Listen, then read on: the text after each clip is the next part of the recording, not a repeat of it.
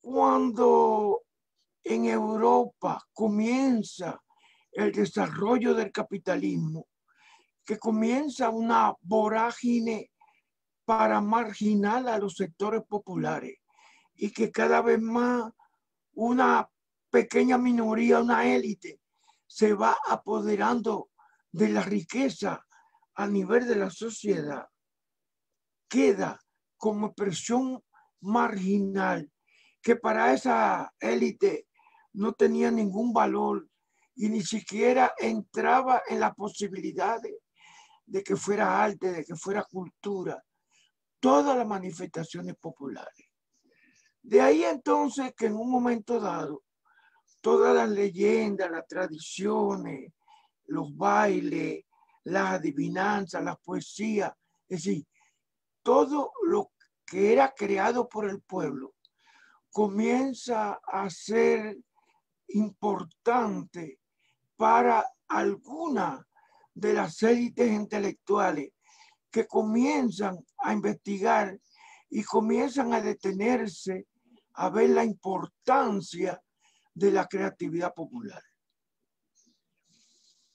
Por eso, en un momento dado, a todas las manifestaciones populares, música, danza, cuento, adivinanza, etcétera, etcétera, comenzó a llamarse antigüedades populares, porque eran mantenidas por el pueblo desde generaciones, o algunos eran un poco, eh, un poco, se acercaban más y hablaban de una literatura popular con relación a la literatura académica.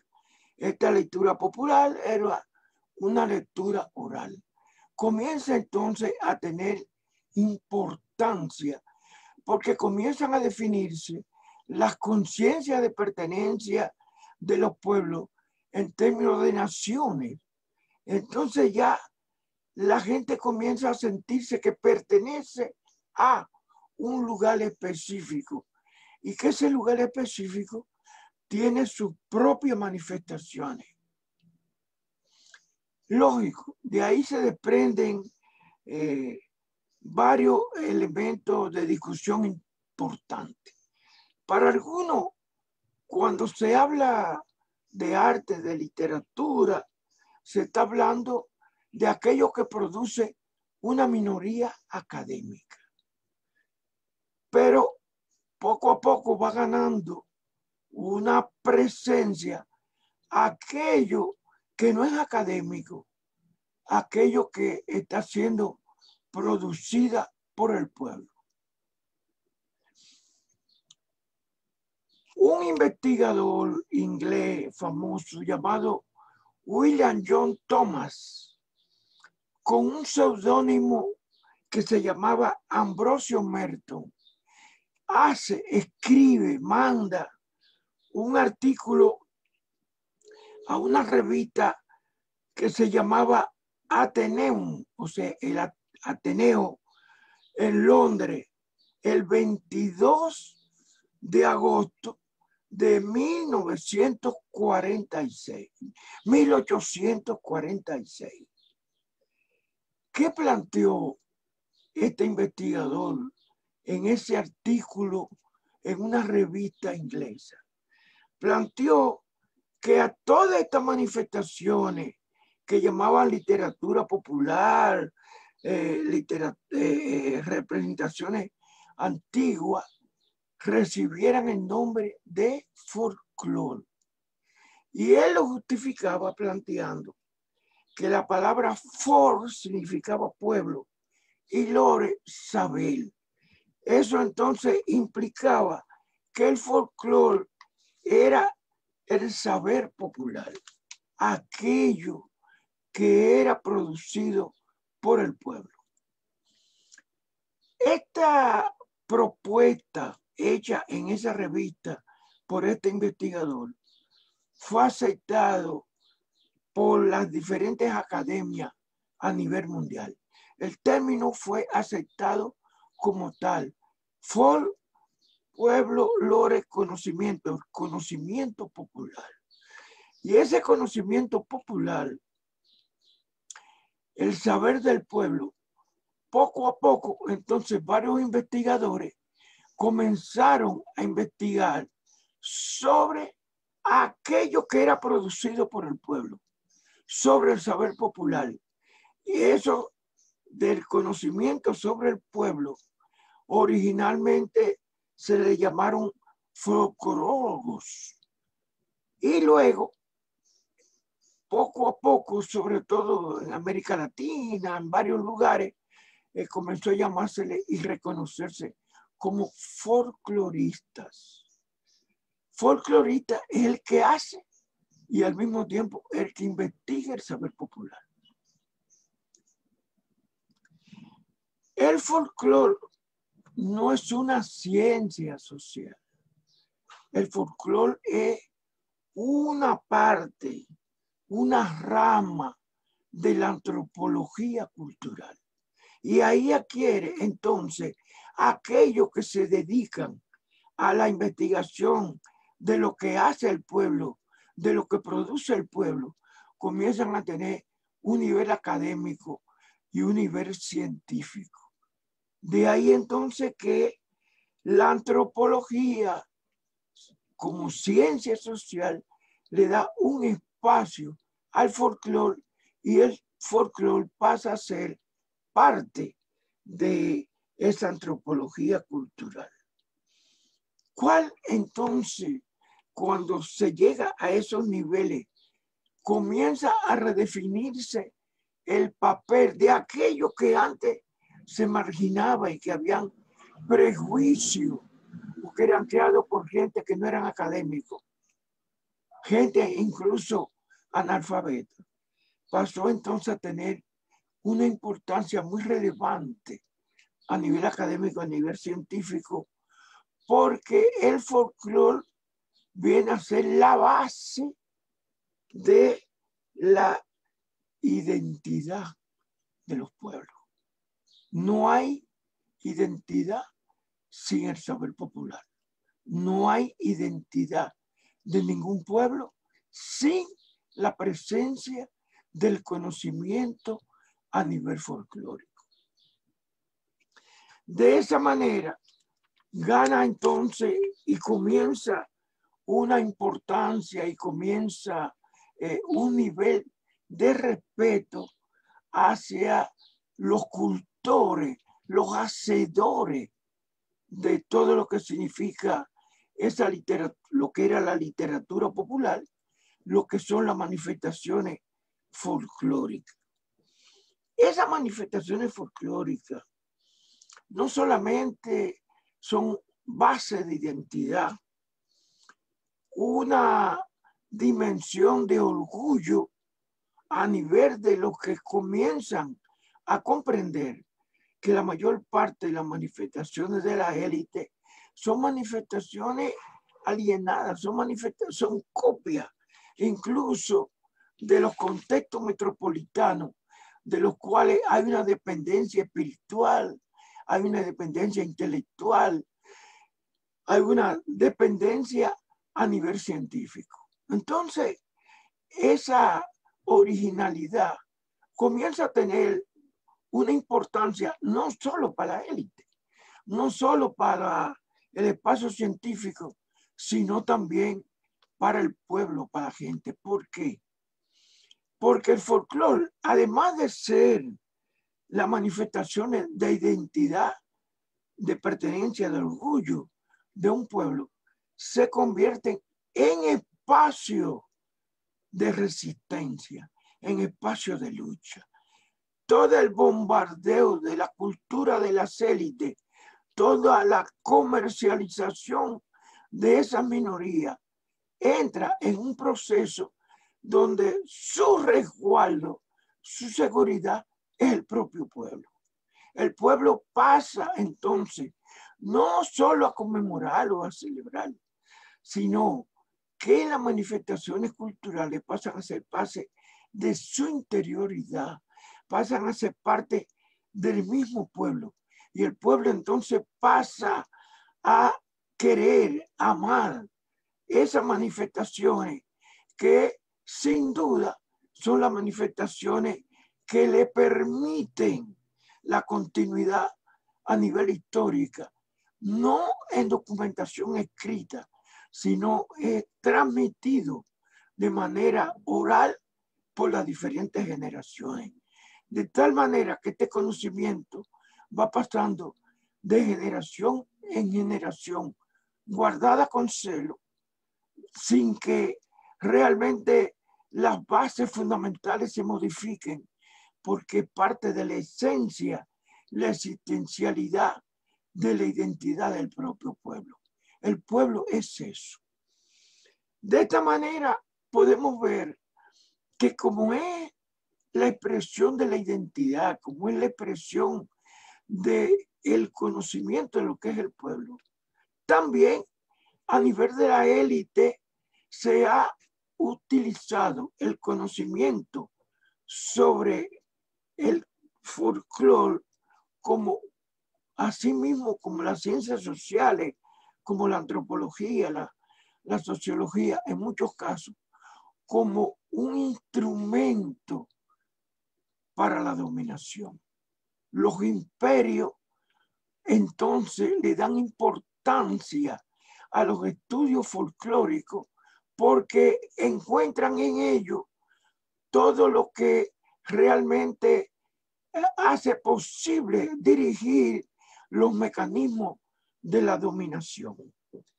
Nosotros tenemos ejemplos interesantísimos sobre eso.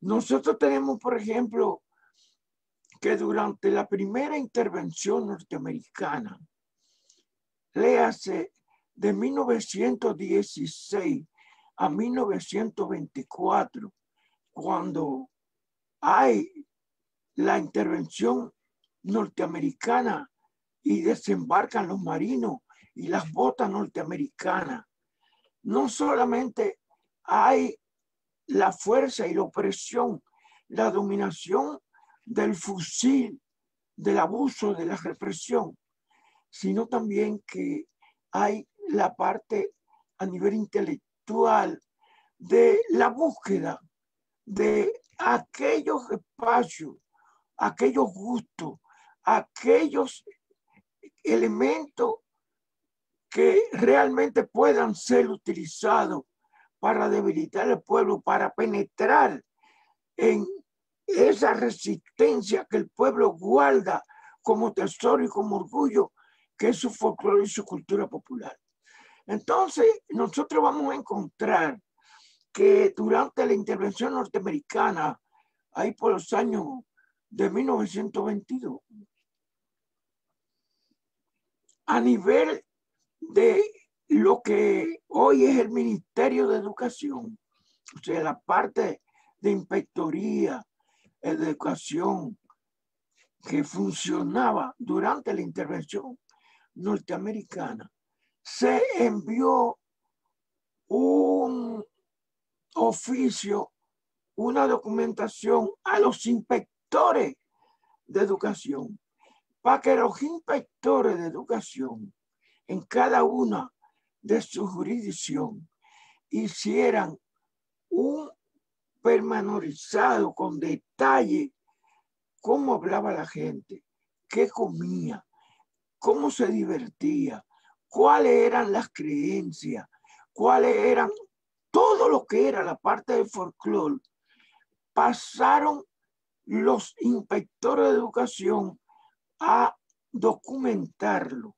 para enviarlo a lo que era la inspectoría de educación pública, que eso entonces llegaba a lo que eran los mecanismos de seguridad y los mecanismos de la intervención de los que de una u otra manera mancillaban la soberanía nacional.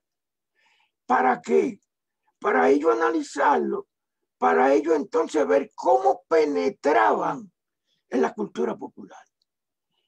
Hay un libro de Emilio Rodríguez de Mauricio lengua y folclore en la República Dominicana que reproduce gran parte de todos esos informes que los inspectores de educación, señores, este es un documento que todo el que esté interesado en el conocimiento de la identidad dominicana, del pueblo dominicano, tiene que leer, tiene que ver.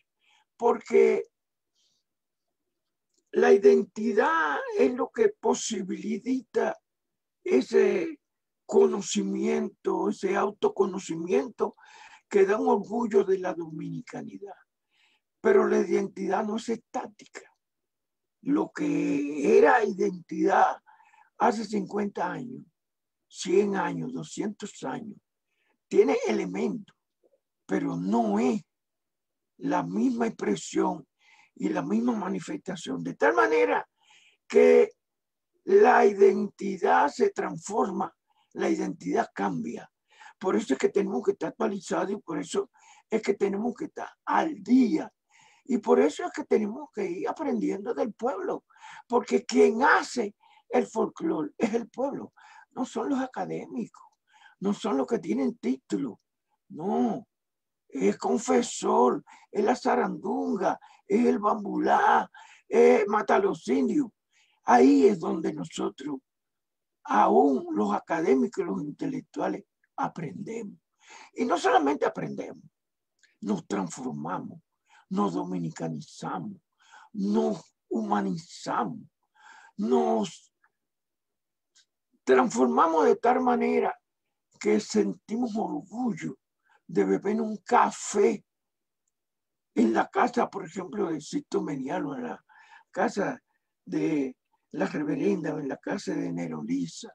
Nerolisa, una mujer extraordinaria, símbolo de folclore de este país. Entonces, eso hace que el folclore adquiera y su enseñanza una importancia determinante. Pero, ojo, en las universidades dominicanas, todavía, todavía con un grado de dependencia muy grande, con un grado de alienación extraordinaria, con todo lo que significa ese mecanismo de dependencia. Señores, aquí no se enseña folclore en las universidades, ni a nivel de, de la escuela oficial realmente. Y es la base de la identidad. Pero eso tiene su explicación. Eso tiene su explicación.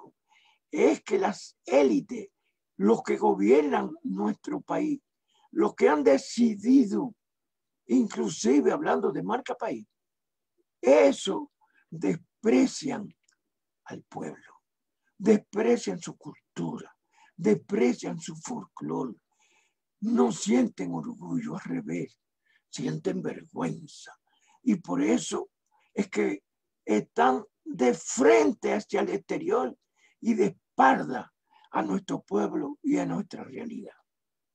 ¿Cuándo llega la palabra folclore a la República Dominicana? ¿Cuándo comienza a asumirse conciencia de lo que era el folclore en la República Dominicana? Hay un periódico que se editaba en Santiago de los Caballeros que se llamaba Ecos del Pueblo. Ecos del Pueblo se editaba en Santiago y con un seudónimo, una lectora o un lector, dice José Guerrero, mi hermano, antropólogo brillante, que él ya ha descubierto quién es ese seudónimo. De todas maneras, yo no lo sé. Pero la realidad es que un lector o una lectora, porque podía haber sido una mujer, envió una carta al periódico Ecos del Pueblo a Santiago de los Caballeros, dirigido por el maestro Hungría, planteando que, y es donde aparece por primera un 10 de febrero de 1886, muchos años después que en Europa es aceptado y reconocido. Pero un día como hoy, 10 de febrero de 1886, aparece en el periódico Eco del Pueblo por vez primera en la República Dominicana la palabra folclore. Y aparece la palabra folclore porque esa lectora está enviándole a un profesor, un investigador austríaco, le está enviando una décima de Juan Antonio Alí que se llama Un fandango en Dajabón. Le envía eso y le dice, esto es una muestra folclórica del país. De todas maneras, a pesar de que aparece por vez primero, y por eso es que se celebra hoy esa festividad. Vamos entonces a encontrar que pasan varios años y a nivel de lo que significa cosas añejas de César Nicolás Penso. César Nicolás Penso es el primero que habla de que esas tradiciones, esas manifestaciones populares son el folclore quisqueyano. Esa es cuando se introduce y cuando comienza a hablarse de folclore. A partir de ahí viene todo un proceso ya de asumida de conciencia y de divulgación de lo que significa el folclore. Pero el 10 de febrero del 2001,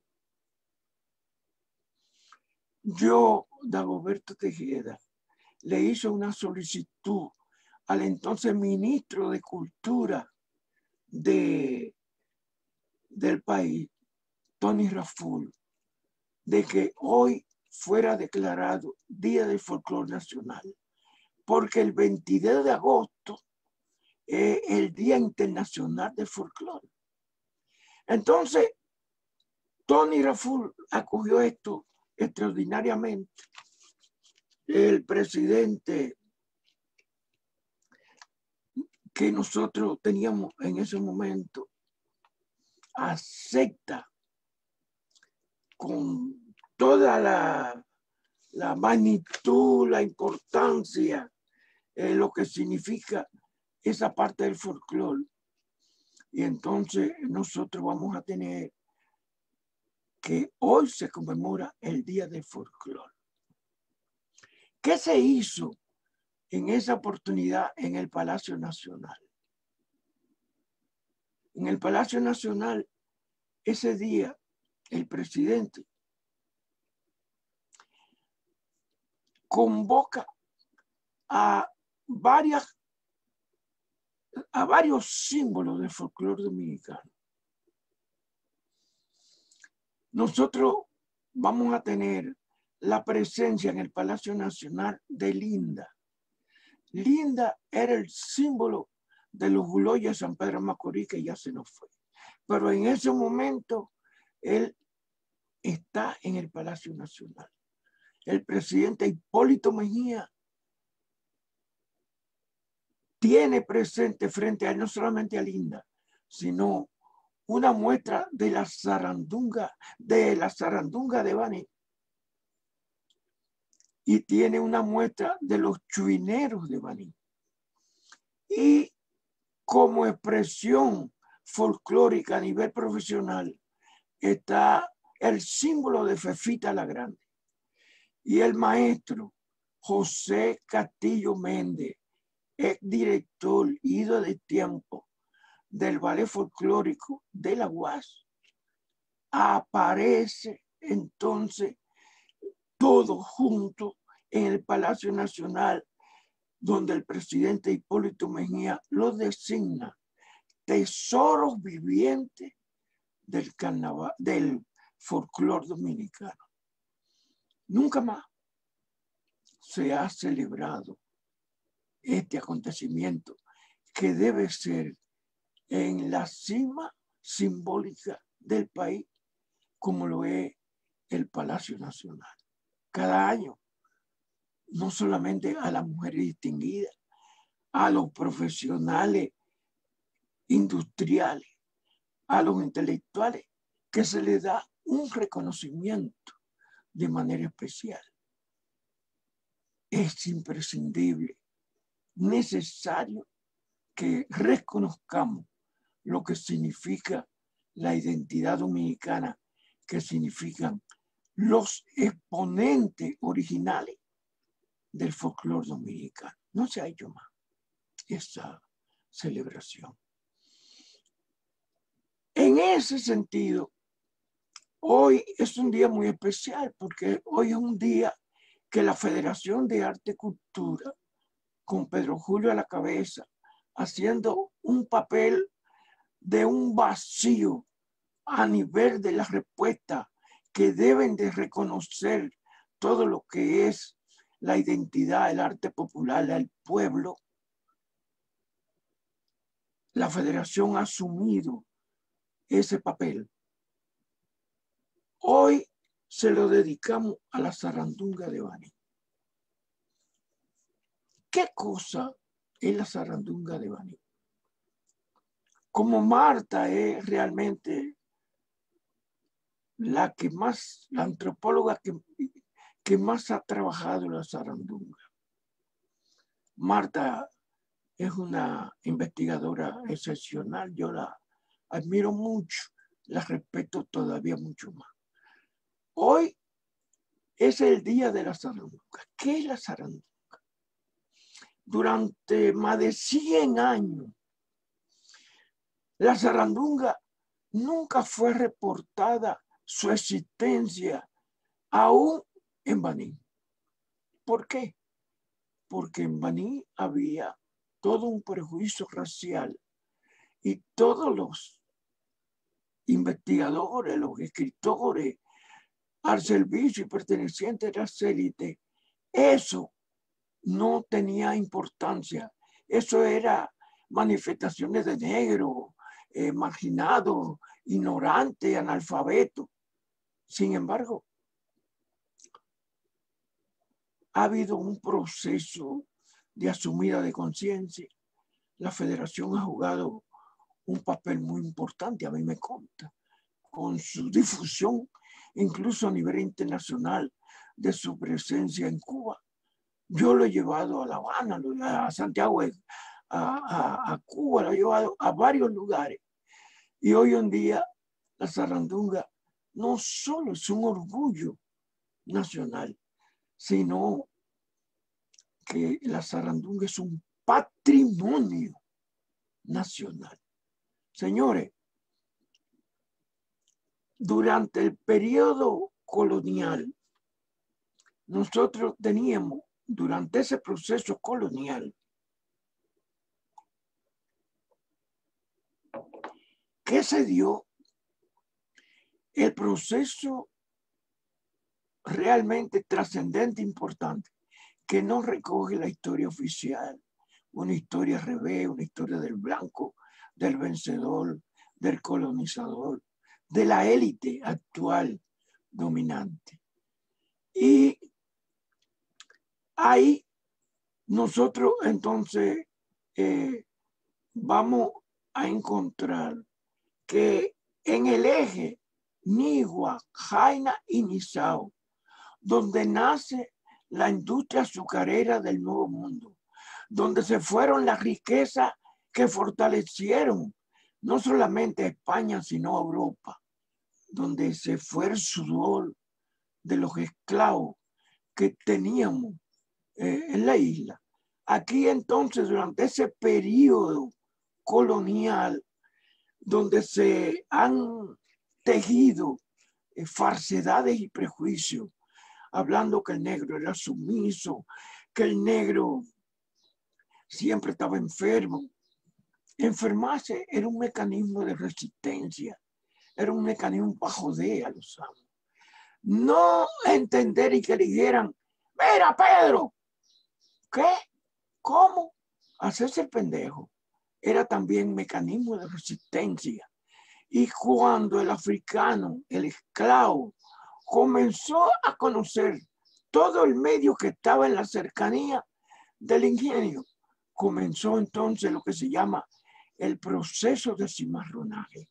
El cimarronaje fue la huida, la lucha hacia la montaña para crear ahí su propio mundo y donde se da un primer proceso de la esencia de la dominicanidad. ¿Cuál es? Aquí no vino el africano, vinieron los africanos de lugares diferentes de África, con cultura diferente, con idiomas diferentes, con creencias diferentes, con religiones diferentes. Cuando están en la montaña, que están libres, y eso se llamaron los manieles, en otros sitios se llaman palenques, que es un espacio libre de integración y de, de vida. Ahí entonces comienza un proceso de fusión eh, determinante, porque habían esclavos libertos de diferentes etnias. Y entonces los diferentes dioses se fueron aceptando y se fueron convirtiendo en una sola expresión. Y de ahí entonces es que nosotros vamos a tener que ese proceso es un proceso base fundamental, muy poco estudiado, menos revalorizado del cimarronaje. Dentro del cimarronaje, hoy, hoy, en el 2021, la muestra cultural religiosa más trascendente y más importante que tenemos se llama la zarandunga. De el eje Niguanizao, ellos pasaban por San Cristóbal y entonces llegaron a un sitio donde vive Confesor y todo el grupo de la zarandunga hoy en día, campesinos, con una riqueza extraordinaria, con una capacidad creadora, con un espacio de resistencia único.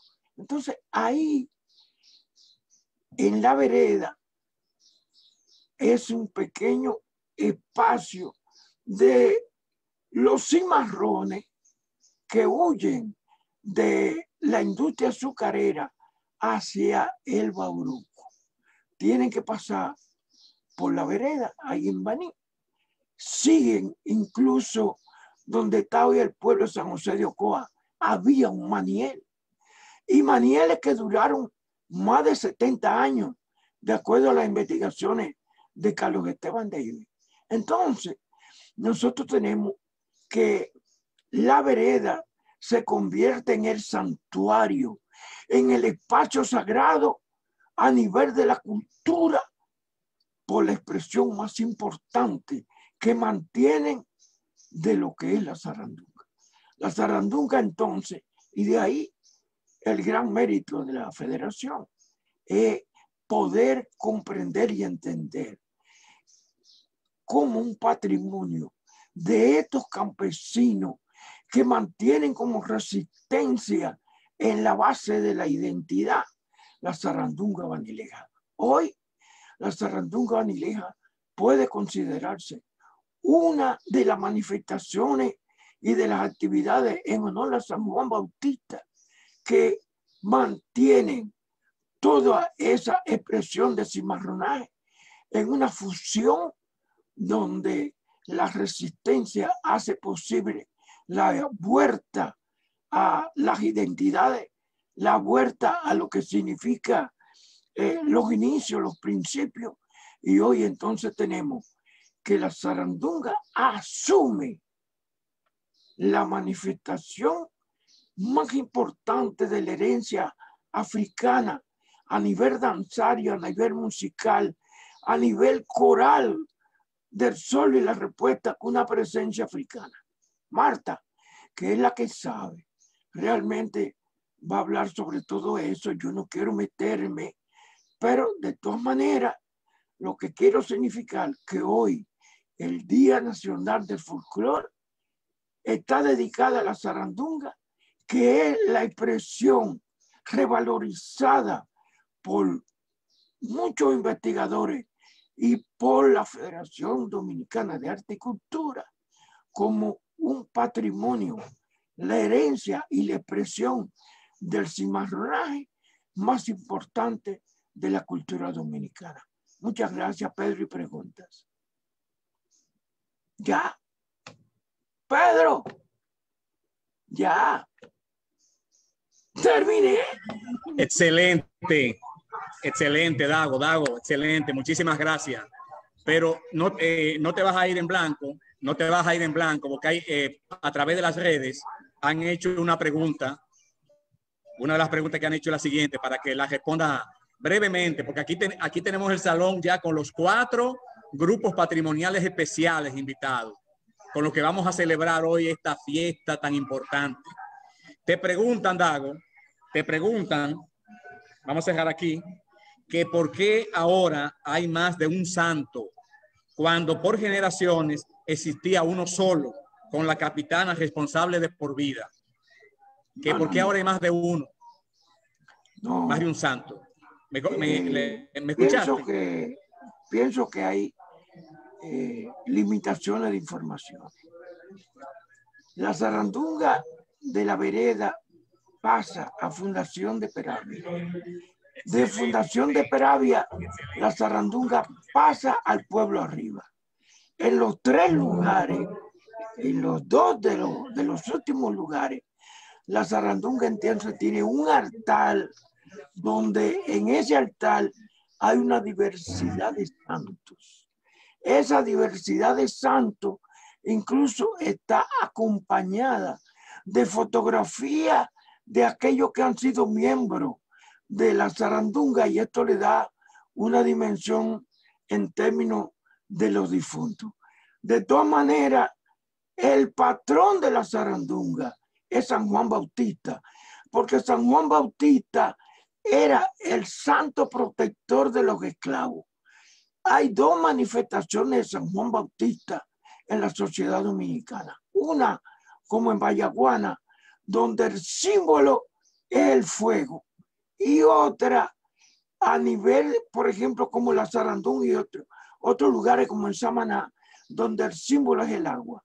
En ambos, San Juan Bautista, el símbolo del agua es la preferencia africana porque fue San Juan Bautista quien bautizó a Cristo.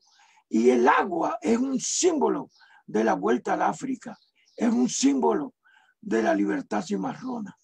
El patrón de la zarandunga es San Juan Bautista. Lo que ocurre que en su celebración hay una cantidad de santos que acompañan a San Juan Bautista, pero el patrón es San Juan. Ah, Pedro, cópiala, hágase un folletito de eso y repártalo.